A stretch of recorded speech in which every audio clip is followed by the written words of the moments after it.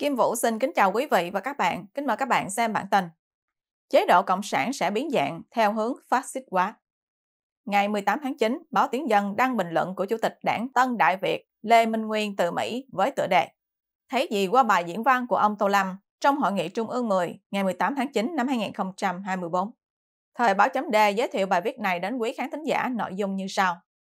Sớm hơn một tháng, ngày 18 tháng 9, Đảng Cộng sản Việt Nam họp thường kỳ Trung ương 10 trước khi ông Tô Lâm lên đường đi Mỹ để dự họp thượng đỉnh Liên Hiệp Quốc và có thể gặp riêng Tổng thống Biden ở New York. Ông Tô Lâm sẽ gặp đại diện các đại công ty Mỹ, trong đó có Google và Facebook. Sau đó ông đi Cuba, tháng 10 ông đi Pháp. Và đây là hình bài trên báo Tiếng Dân. Nhìn chung, bài diễn văn của ông Tô Lâm ngắn hơn, ít trừu tượng và ít giáo điệu hơn là các bài diễn văn của ông Nguyễn Phú Trọng trước đây. Đầu bài, ông ca ngợi ông Trọng dùng nó làm cái khiên để che chắn cho các việc làm và sự tiếp nối của ông. Hai điểm chính trong bài là kêu gọi đảng viên cố gắng hoàn tất các mục tiêu đã được đề ra trong nghị quyết của Đại hội 13 và chuẩn bị cho Đại hội 14 với hai chủ đề chính là văn kiện và nhân sự. Ông dùng hai mốc thời gian là năm 2030 và năm 2045 để đánh dấu 100 năm thành lập đảng và 100 năm cai trị Việt Nam. Ông gợi ý một số vấn đề cụ thể cho khóa 14 như đột phá về thể chế và phát triển, đổi mới mạnh mẽ công tác cán bộ. Các điểm nhấn khác như phát triển lực lượng sản xuất mới thiên về chất xám cho thời đại thông tin, mà trong đó giao thông, kỹ thuật số và năng lượng được ưu tiên.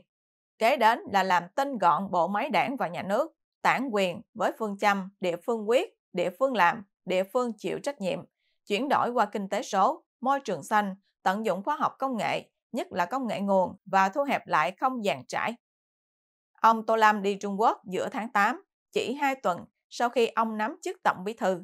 Điều này cho thấy Cộng sản Việt Nam vẫn dựa vào Trung Quốc để bảo vệ chế độ, nhưng ông cũng muốn tận dụng phương Tây cho việc phát triển kinh tế và khoa học kỹ thuật. Và đây là hình tổng bí thư Tô Lâm. Trung Quốc tiếp đón ông nồng nhiệt với thảm đỏ, súng thần công và gặp hầu hết các nhân vật chấp bu từ Tập Cận Bình đến Lý Cường, Triệu Lạc Tế, Vương Hổ Ninh nhưng lại không cho truyền thông Trung Quốc phổ biến rộng rãi. Điều này cho thấy Trung Quốc muốn nhắn ông Tô Lâm rằng tôi cho anh cơ hội nhưng anh phải thể hiện, tức là anh phải làm gì trước khi tôi hoàn toàn tin tưởng vào anh. Nó cho thấy là việc đi dây của ông Tô Lâm không dễ dàng. Xét về địa chính trị thì Trung Quốc có lợi thế hơn Mỹ, nhưng cũng xét về địa chính trị, Việt Nam là một quốc gia biển, nên lợi thế của Trung Quốc chỉ có được khi Việt Nam là một nước nghèo.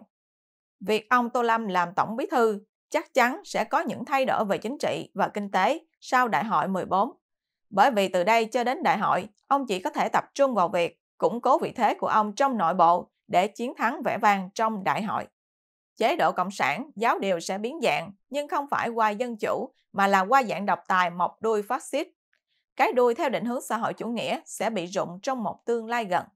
Quả thật, như tác giả Lê Minh Nguyên dự đoán, sẽ khó có việc một nhà lãnh đạo đang nắm giữ toàn bộ quyền lực mà quyền lực đó có được do sử dụng các thủ đoạn, bao gồm cả bạo lực, đối với ngay cả những đồng chí của họ, lại tự mình chia sẻ nhường quyền lực để chuyển đổi dân chủ.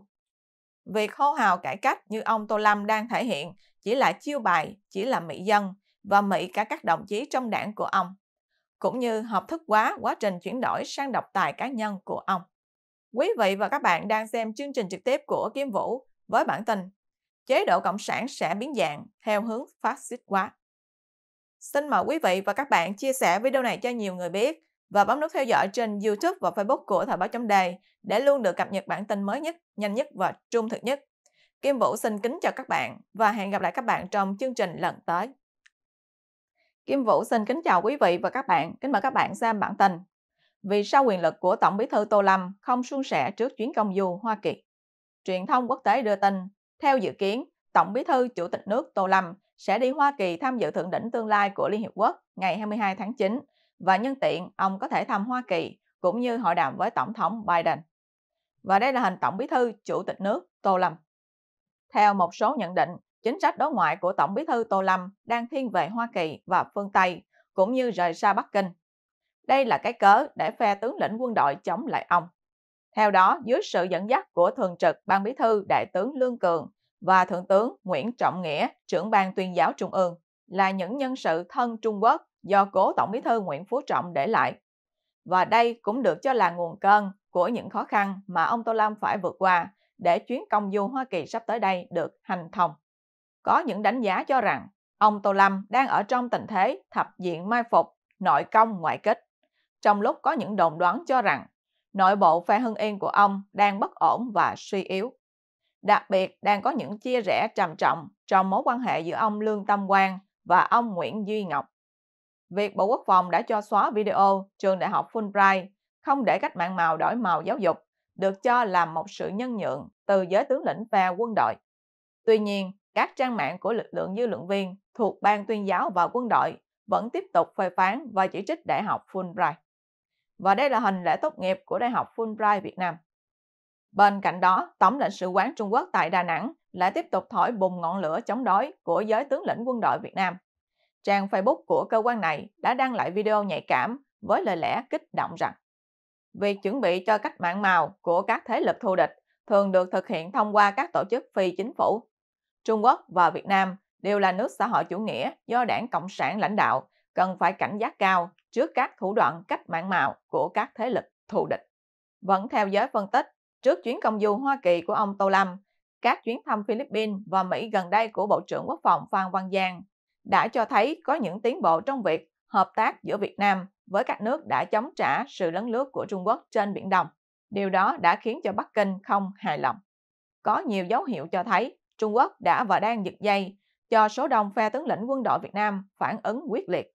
Mặc dù Tổng bí thư Tô Lâm đồng thời cũng là bí thư quân ủy Trung ương, một chức vị cao nhất trong hệ thống quân đội Việt Nam, nhưng tại sao không có khả năng dẹp yên vụ đại học Fulbright? Điều đó cho thấy ông Tô Lâm mới chỉ kiểm soát một bộ phận của quân đội. Hơn thế nữa, trong tháng 10 tới đây, tại Hội nghị Trung ương 10 khóa 13, Tổng bí thư Tô Lâm sẽ phải giao lại cho phe quân đội ghế chủ tịch nước, thì quyền lực trên thực tế của ông sẽ bị giảm sút.